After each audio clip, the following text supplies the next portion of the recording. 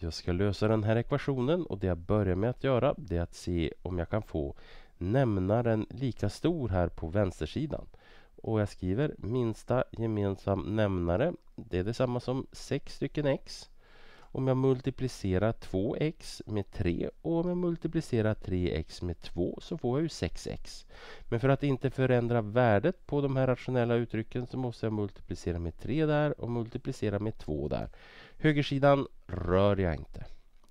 Så det jag får här då, 3 gånger 0,1 är ju då 0,3 genom 6x plus 0,02 genom 6x är lika med 0,01 0,001 genom 6. Sådär.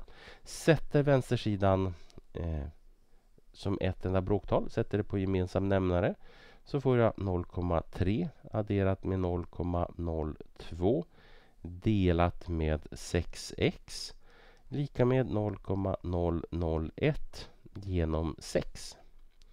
Sen så multiplicerar jag med 6x på båda sidor. Så jag tar gånger 6x där, gånger 6x där. Och det som händer är att den och den förenklas bort och så sen får jag 0,3 plus 0,02 och det här 0,3 plus 0,02 det kan jag skriva som 0,32 är lika med och här då så har jag 6x delat med 6 så den och den kan tas ut. Så jag får 0,001x sådär. Och så sen så för att få x ensamt så kan jag göra på två sätt. Antingen att göra som jag alltid gör och dividera med 0,001 så här och dividera med 0,001 så där. Och att dividera med en tusendel det är detsamma som att multiplicera med tusen. Så jag får här då att 320 är lika med x. Så x är lika med 320.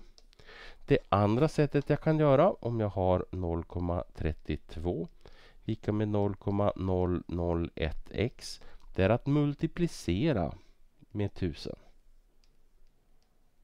Om man tycker att det är enklare.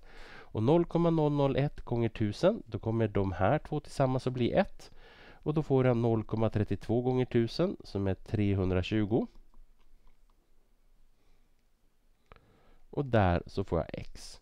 Så det blir alltså samma resultat i slutändan.